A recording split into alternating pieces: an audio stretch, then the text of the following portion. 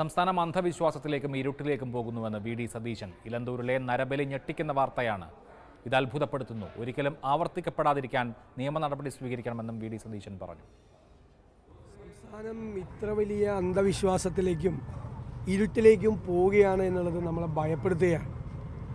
രണ്ട് സാധാരണക്കാരായ പാവപ്പെട്ട സ്ത്രീകളെ കൊല ചെയ്ത് അതിൽ നിന്നും ഐശ്വര്യമുണ്ടാക്കാൻ വേണ്ടിയിട്ട് ഒരു കുടുംബം ഇത് ചെയ്തെന്ന് പറയുന്നത് കേരളത്തെ സംബന്ധിച്ചിടത്തോളം നമുക്ക് ഞെട്ടിക്കുന്ന ഒരു വാർത്തയാണ്. നമുക്ക് ഇത്തരം ഒരു സംഭവം ഒരിക്കലും ആവർത്തിക്കപ്പെടാതിരിക്കാൻ വേണ്ടിയിട്ടുള്ള നടപടികൾ കൂടി ഗവൺമെന്റ് സ്വീകരിക്കണം. സംസ്ഥാനത്തിന്റെ വിവിധ ഭാഗങ്ങളിൽ ഇങ്ങനെ കനത്ത അന്ധവിശ്വാസം പ്രചരിപ്പിക്കുന്ന ആളുകളുണ്ടോ? അതിന് കൂട്ടുനിൽക്കുന്നുണ്ട് ആളുകളുണ്ടോ എന്ന് കൂടി പരിശോധിക്കപ്പെടേണ്ട കാര്യമാണ്.